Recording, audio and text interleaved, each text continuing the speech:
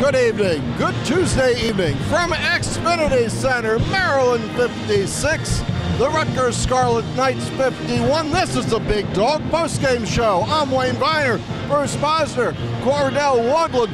Boy, that was a fist fight to the end, Bruce. Typical old-fashioned Big Ten game.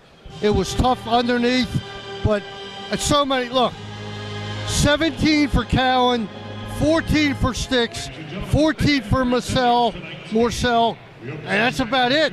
I mean, that just took care of everything. And uh, what the heck, you know, Sticks, 15 rebounds, 14 points uh, against two big men the entire game. One in, one out, one in, one out. He was just great. I can't, there's not enough superlatives for him. What do you think there, uh, Yeah, uh, Jalen Smith is, you know, I mean, the dude is as consistent as the mail. Uh, there's not much you can say about him to keep applauding him. Jalen Smith shows up to work every game. Uh, another big game for Cowan everybody's waiting for the turf to show consistency, and I'm starting to believe that this is just who they are.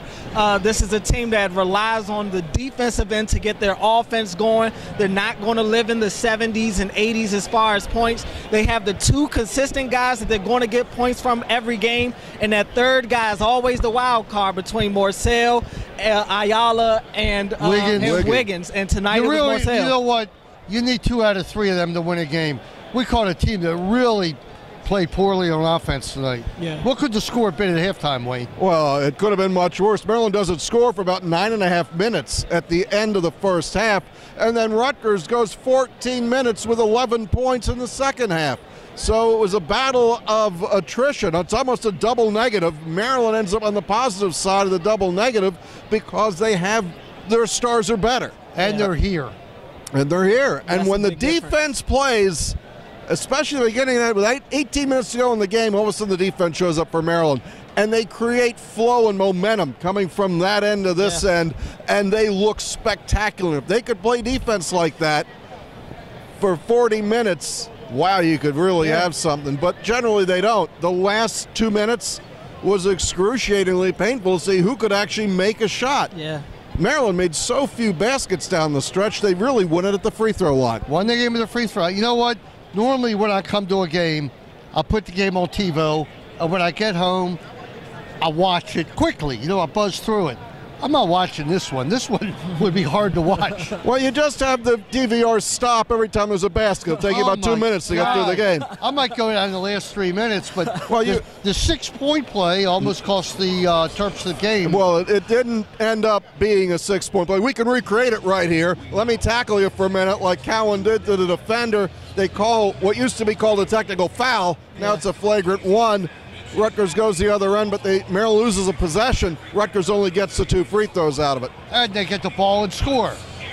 And Maryland could have scored. Yep. Yeah. That's why it's a six-point play.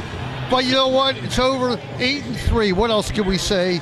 And 17 and four, I think it's 18 and four now. Eh, 18 and four, eight and three is almost unbelievable in the Big Ten this year. But they've taken care of business at home, and that's the bottom line. Hey. And and I want to tell you, if you, you have to be here, I'm sure you can tell on TV. But when it's crunch time, Yeah. how much you think these fans help? Oh yeah, the fans help big time. Honestly, that that's really the fuel that fueled the the, the Terps fire Right, tonight and- and once you they could- got the bucket. Yeah, you can see in the background here the, the fans cheering for the defense again as they pretty much get the trunk slammers stopped on Rutgers. After that, they should just go to the bus.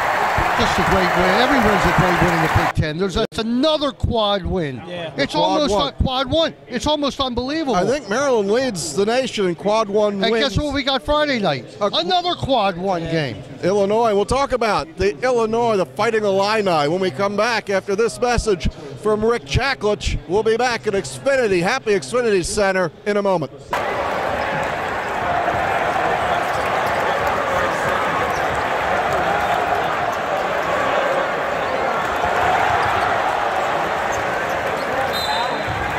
Terp Talk is brought to you by Viener Forgates Consulting. Call Viener Forgates for all of your IT needs.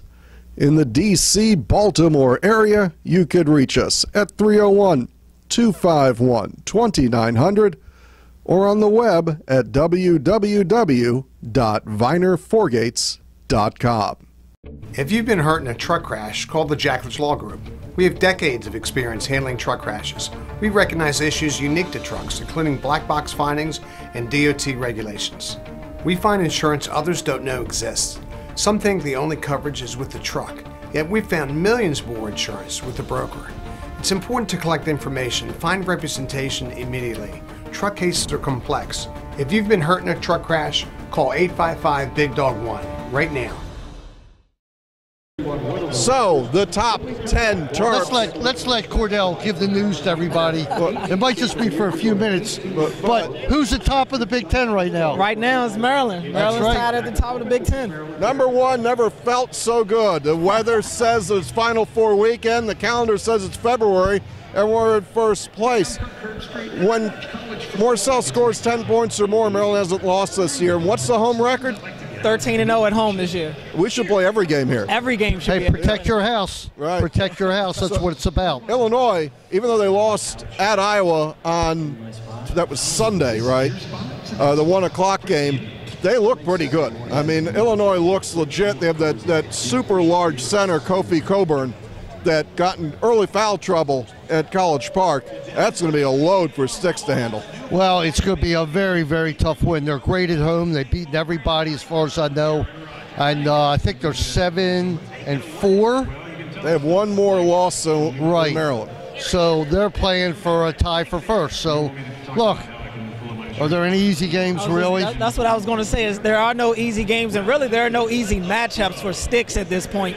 He's gone against big body guys all season, especially in Big uh, Ten play. So this will just be another day Well, at the office. If you look at his numbers, isn't it the other way around?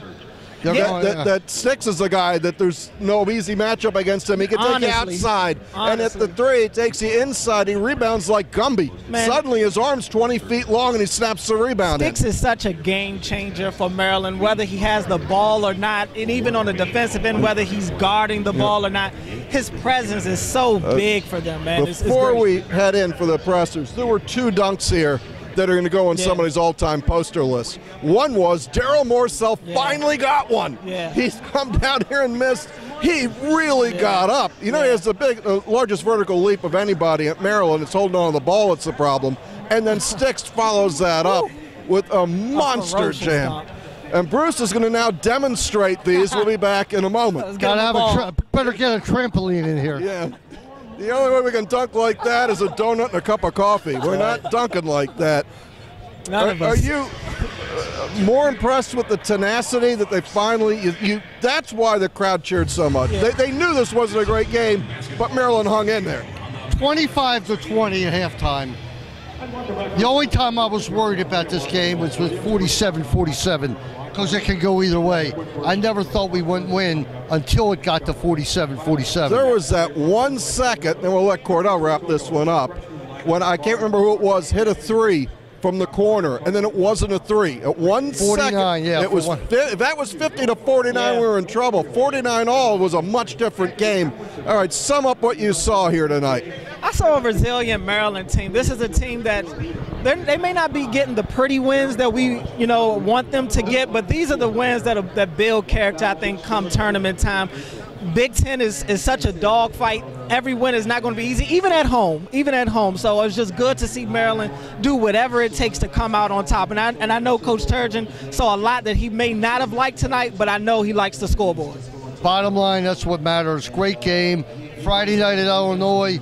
Men's lacrosse goes to At Richmond on Saturday at noon. at Richmond Saturday at noon. Up? ESPN Plus. We'll try and get Bruce on that. Yeah. And hey, props to Mason, who did a rocking job on ESPN Plus at Jacksonville last night as Florida Gulf Coast. The women's team, I think, is now 23 and 2 for Florida Gulf Awesome. Coast. Utterly awesome. Mason was was excellent. Check that out on Terp Talk, and you can catch all three of us tomorrow evening on 1300 CBS Are you Sports producing Radio. tomorrow? All right. And, right. and that'll do it from Happy Xfinity Center. As Bruce always says, drive safely. Drive safely, everybody. Go Terps.